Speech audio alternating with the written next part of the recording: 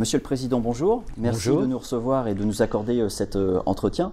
Alors nous fêtons et célébrons les 10 ans de l'autorité de la concurrence. Vous avez été le principal artisan et l'architecte de la transformation du, du, Conseil de la concurrence en autorité de la concurrence. Est-ce que vous pouvez revenir pour nous sur les raisons qui ont présidé à cette euh, réforme? Quels en étaient les, les objectifs? Alors d'abord, je voulais vous dire combien je regrette de ne pas être avec vous euh, au Palais Brongniart aujourd'hui. Je serai à des milliers de kilomètres euh, entre Nouméa et Papette. Dans mes nouvelles responsabilités, il y a aussi la gestion de la juridiction euh, administrative et mon rôle est aussi d'aller visiter les tribunaux administratifs, les encourager, outre-mer, parfois très loin. Et je serai loin, mais je penserai à vous en étant de cœur avec vous tous.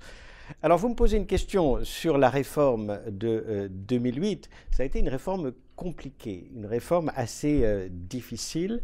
Euh, vous vous en souvenez, en 1986, le choix a été de partager la régulation de la concurrence entre deux autorités, un ministre, autorité politique, et le Conseil de la concurrence, autorité indépendante. C'était en quelque sorte un compromis. Sur les pratiques anticoncurrentielles, le ministre, en réalité, transmettait à l'autorité euh, de la concurrence, ou plutôt au Conseil de la concurrence, des dossiers sur lesquels il avait réuni des preuves, a mené des enquêtes, et le Conseil instruisait puis décidait. Sur les concentrations, les fusions, les acquisitions, le pouvoir de décision était dans les mains du ministre et euh, le Conseil était consulté sur les affaires les plus complexes pour mener un avis sur euh, ces opérations. En réalité, ce modèle avait vieilli. Il était de moins en moins répandu en Europe. L'Italie, l'Espagne, le Portugal, qui connaissaient le même dualisme institutionnel, avaient adopté des réformes législatives fusionnant euh, dans les mains d'une autorité unique ses pouvoirs de régulation et donc la France restait relativement euh, isolée avec la Belgique et le Luxembourg qui, in fine, allaient eux aussi faire cette réforme. En 2001, euh, lors euh, de l'arbitrage de la loi NRE, le sujet avait déjà été évoqué au niveau interministériel, mais la résistance du ministère de l'économie avait été plus forte et le projet avait été abandonné. Ma prédécesseur, Marie-Dominique Hagelstein, quand elle a quitté la présidence du Conseil de la concurrence en 2004, avait laissé aussi ce testament public. Elle souhaitait ardemment euh, cette réforme que le temps, les opportunités ne lui avaient pas permis euh, de, mener à bien. Et euh, on voyait bien que pour réussir cette réforme, il fallait un stimulant extérieur. Il fallait une voix venue d'ailleurs. Et cette voix, elle est venue de la Commission pour la libération de la croissance française une initiative du président Sarkozy qui voulait bouger l'économie, instaurer plus de mobilité euh, dans l'économie, secouer en quelque sorte la France par des propositions chocs dont une partie consistait justement à stimuler la croissance, moderniser euh, notre économie. Je faisais partie euh, de cette commission au milieu d'une quarantaine d'experts, mais il n'y avait pas de meilleur avocat pour une meilleure régulation de la concurrence que Mario Monti, l'ancien commissaire à la concurrence, qui siégeait euh, aussi au sein de cette commission. Et euh, ce n'est pas son talent et nos efforts conjugués pour convaincre l'ensemble des membres de la commission que nous avons euh, finalement plaidé pour une modernisation du système introduit en 1986 autour de quatre propositions. La première, fusionner les phases d'enquête et d'instruction, et donc accueillir dans la nouvelle autorité de la concurrence les enquêteurs qui travaillaient au sein du ministère, à la DGCCRF, confier un pouvoir de décision en matière de concentration à l'autorité de la concurrence, ainsi unifié, mais avec un pouvoir du ministre de surmonter en quelque sorte une décision euh, de l'autorité en se fondant sur des critères autres que le bilan concurrentiel. Troisième proposition qui était très forte, dont on a moins parlé, mais qui a été porteuse d'un grand nombre de changements, c'est la possibilité pour l'autorité de se saisir d'initiatives d'avis, euh, de pouvoir prendre la parole sans y être invité par une saisine extérieure. C'est l'idée, sur le modèle britannique, de pouvoir faire des enquêtes sectorielles, de pouvoir prendre la parole sur des réformes législatives ou réglementaires pour mieux faire fonctionner la concurrence. La dernière proposition qui n'a pas été retenue était de donner à l'autorité de la concurrence plus de discrétion, plus de marge de manœuvre pour sélectionner ses affaires et se concentrer sur les dossiers les plus importants. C'est la quatrième proposition et celle qui, paradoxalement, n'a pas été euh, adoptée. Il a fallu convaincre le pouvoir politique d'abord, et euh, j'y ai pris ma part en allant voir l'un après l'autre les responsables politiques. J'y ai passé euh, beaucoup de temps, et c'est le 23 janvier 2008 un peu à la surprise générale, car son discours écrit ne disait pas exactement les mots qu'il a prononcés, que le président de la Nicolas Sarkozy, a dit cette réforme, nous allons la faire. Et il a d'ailleurs essentiellement euh, invoqué des motifs de simplicité, disant on ne comprend pas très bien la répartition entre les directions ou autorités euh, indépendantes qui existent en France. Il faut simplifier, il faut être efficace et c'est au nom de cette double exigence de simplicité et d'efficacité que la réforme a été lancée avec des résistances, mais euh, Christine Lagarde, qui était à l'époque ministre de l'économie, qui au départ amplifiait euh, les craintes de son ministère, a compris que d'un point de vue politique, il y aurait des grands bénéfices à la faire. Alors vous l'avez dit, la réforme a été très discutée. Est-ce qu'il y a euh, différentes options qui ont pu être envisagées pour l'autorité de la concurrence, que ce soit en termes de mission ou bien même euh, de, structure? Non, nous avons fait le choix pour ne pas compliquer l'exercice, qui était déjà difficile, de ne pas rajouter des problèmes de composition, de statut ou de procédure. Nous avons décidé, en quelque sorte, de garder le système institutionnel du Conseil de la concurrence et plutôt parler de pouvoir, d'instrument, de mission, euh, donc de nous concentrer euh, sur le fond. Les principaux débats, ils ont porté sur quoi? D'abord, sur le rôle respectif du ministre et de l'autorité euh, indépendante.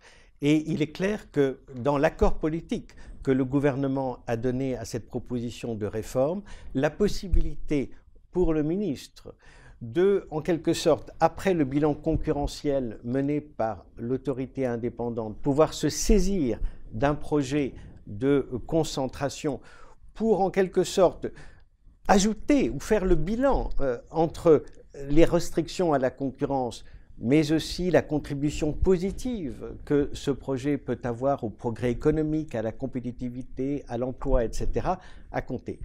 Le deuxième sujet de débat, il a porté sur la voie politique pour mener cette réforme. Au départ, le gouvernement envisageait de tout faire par ordonnance et demander au Parlement une délégation en quelque sorte pour pouvoir mener cette réforme par ordonnance. Et l'Assemblée nationale avait accepté cette délégation.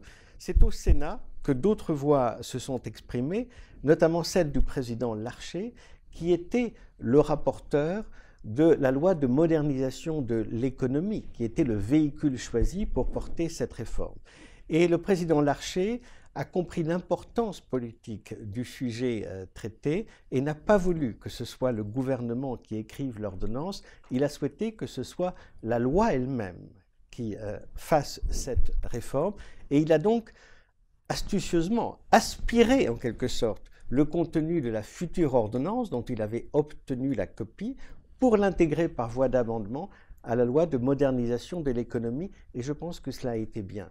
Car finalement, alors qu'en 1986, on a fait cette réforme fondamentale de la libération des prix et de la création d'une autorité indépendante de la concurrence par ordonnance, ensuite, comme par une technique du kangourou en quelque sorte, qui euh, réunit ses pattes en avant pour faire un saut, chaque fois qu'il s'est agi de moderniser, d'adapter la régulation de la concurrence, on l'a fait par la loi.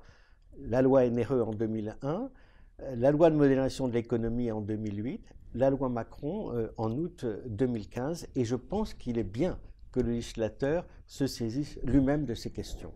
Alors une fois porté sur les fonds euh, baptismaux, quelles ont été les difficultés auxquelles l'autorité de la concurrence a été confrontée?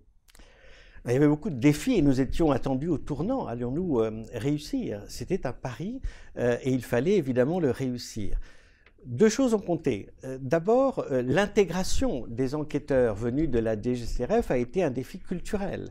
La culture des deux maisons était relativement différente, mais l'intégration a été réussie et nous y avons veillé parce qu'en réalité, tout le monde a compris que travailler ensemble est un gage d'efficacité. La séparation des deux phases entre la collecte des preuves, l'enquête sur les faits d'une part, et l'instruction, la qualification au regard du droit de la concurrence, il y avait beaucoup de bénéfices à les mener euh, dans les mêmes mains et de ne pas séparer dans le temps ces deux exercices. Surtout, ce qui a été euh, formidable, c'est que les enquêteurs ont appris aux rapporteurs du Conseil un nouveau métier, les visites et saisies, la collecte des preuves, les auditions, et inversement, euh, les euh, rapporteurs du Conseil de la concurrence ont appris aux enquêteurs l'autre face du métier qu'ils ne connaissaient pas.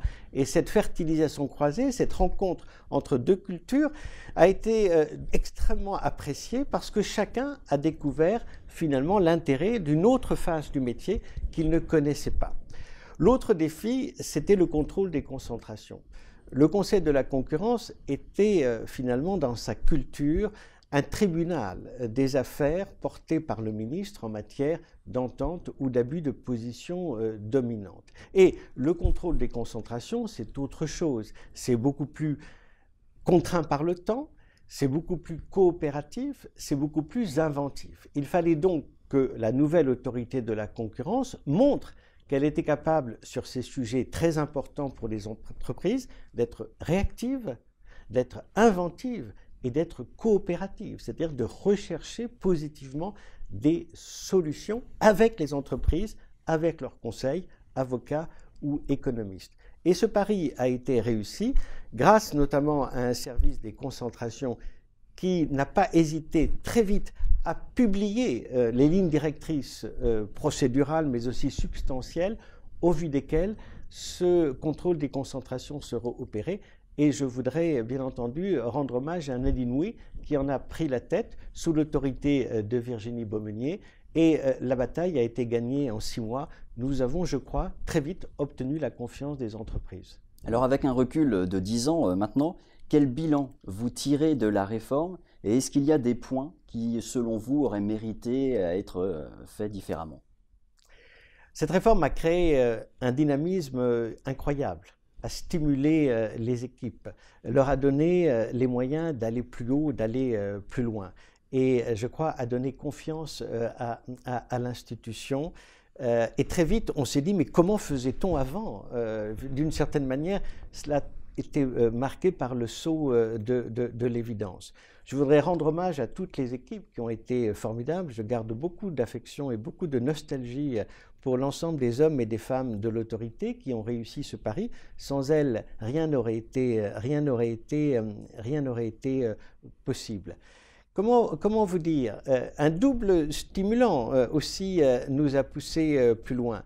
Cela a été évidemment le réseau européen. Hein, n'oublions pas qu'en 2004 s'est mis en place le réseau européen de la concurrence et grâce au nouveau pouvoir reçu euh, de, l'autorité, grâce au nouveau dynamisme institutionnel que la réforme a mis en place, euh, l'autorité française a pris une place éminente dans ce réseau. Euh, elle a été une référence pour d'autres institutions. Et j'ai été conduit au Luxembourg, en Belgique, outre-mer, mais aussi au Brésil, à expliquer le modèle français qui a inspiré d'autres législateurs euh, en Europe et, et, dans le monde. Je crois que sans cela, jamais euh, l'autorité n'aurait pris la place qu'elle a occupée euh, dans le réseau européen. Et enfin, on en parle moins, mais l'autorité, en pouvant se saisir elle-même d'avis alors qu'elle devait attendre qu'on la saisisse, et cela ne venait pas toujours, a changé complètement euh, son mode d'intervention, de euh, tribunal en quelque sorte réactif à des plaintes, euh, l'autorité est devenue un régulateur proactif qui construit son agenda, choisit les sujets sur lesquels elle veut parler, prendre la parole. Et nous avons parlé sur des sujets qui parlaient aux Français. Les pièces de rechange automobile, le médicament, toute la distribution, toutes sortes de sujets sur lesquels on montrait qu'une concurrence mieux organisée pouvez changer la vie quotidienne des euh, Français. Alors en guise de conclusion ce jour anniversaire, quels vœux formulez-vous pour l'autorité de la concurrence pour euh, les dix ans à venir? Ben D'abord, des vœux de confiance et d'espoir. Et je sais que l'autorité, sous la houlette de sa présidente Isabelle de Silva, a un très bel agenda euh, devant elle et je suis euh, très confiant. S'il y avait une chose auquel il faut toujours penser, c'est la jeunesse. Euh, la, richesse d'un pays, je dirais même le trésor de la France, c'est sa verte, sa verte jeunesse. Et finalement, euh, au moment où, voilà, où l'actualité nous montre des revendications, des frustrations, voire même des violences, je pense qu'il faut toujours patiemment, constamment expliquer que la concurrence, c'est aussi euh, la manière de construire de meilleurs équilibres qui vont donner euh, des chances aux jeunes, aux générations à venir. C'est cela la concurrence. C'est d'une certaine manière au confort de la rente, au confort des équilibres préexistants qui sont rarement optimaux, on peut ensemble construire de meilleurs équilibres qui vont donner leur chance à ceux de demain, à ceux qui vont prendre des risques, à ceux qui vont innover pour nous secouer, nous remuer et faire de la France un pays euh, de pionniers, un pays d'innovation, un pays euh, d'initiative. Et je crois objectivement qu'il faut montrer que la concurrence est le meilleur moyen de donner toutes ces chances à la jeunesse.